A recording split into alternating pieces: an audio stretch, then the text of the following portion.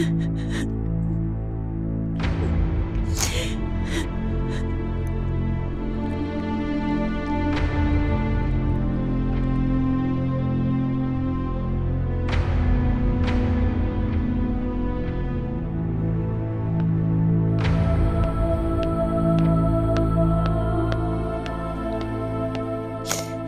ơi Cũng may Con không phải là con của ông ta. Nếu con là con của hắn, Thì chắc chắn Con cũng sẽ không có tính người giống như hắn. Con là con của ba nhân, Là thầy giáo nhân. Con hiểu không? Khi lên Sài Gòn sống chung với ông ta, Mẹ đã phát hiện ra mẹ mang thai con rồi. Nhưng tất cả đã lỡ hết. Mẹ không thể quay đầu lại được.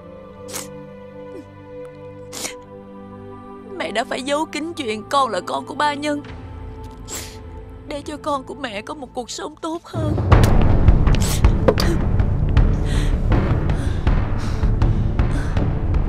Bà vừa nói cái gì? Thằng Long là con của ông Dân sao?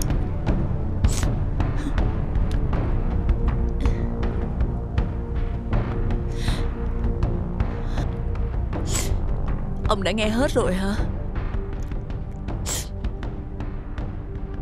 Thôi Dù sao thì đến giờ phút này Tôi cũng chẳng nên giấu gì ông. Đúng Nó là con của anh Nhân Chồng tôi đó. Bà nói cái gì? Thằng Long là con trai yêu quý của tôi và anh ấy. Nó không có chút dính dáng gì đến ông hết. Nó không bao giờ có một người cha đê tiện như ông. Bà nói cái gì vậy hả Tôi thật là có lỗi khi giấu anh ấy chuyện này. Ông tưởng là tôi yêu ông hả? Không bao giờ có chuyện đó đâu. Bà đi sao? Tôi không điên. Tôi tỉnh táo hơn bao giờ hết. Sở dĩ tôi theo ông Là bởi vì tôi muốn giữ giọt máu đó. Tôi muốn giữ con tôi ông hiểu chưa? Bà Bà nói lại một lần nữa đi. Thằng Long nó là con của chúng tôi. Chúng tôi rồi Bà biết tay tôi Ông cứ đánh đi. Ông cứ đánh đi. Ông cứ đánh tôi chết đi. Nhưng sự thật thì vẫn mãi mãi là sự thật mà thôi. Đồ khốn nạn. Mày dám chơi tao hả? Tao giết mày.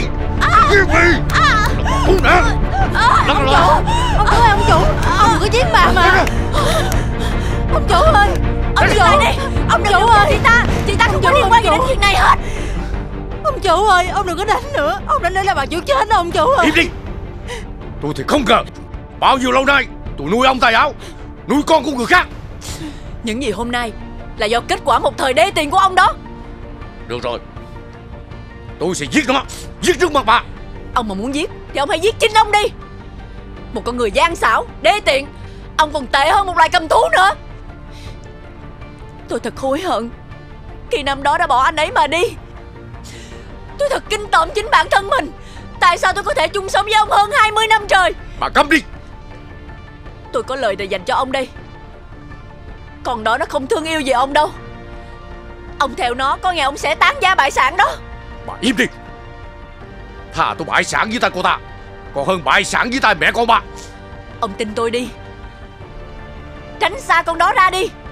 Nếu không coi chừng có ngày ông chết Không còn một mảnh đất để chôn đó. Mày không tao hả? Chết Chết. Chết đi. Ông chủ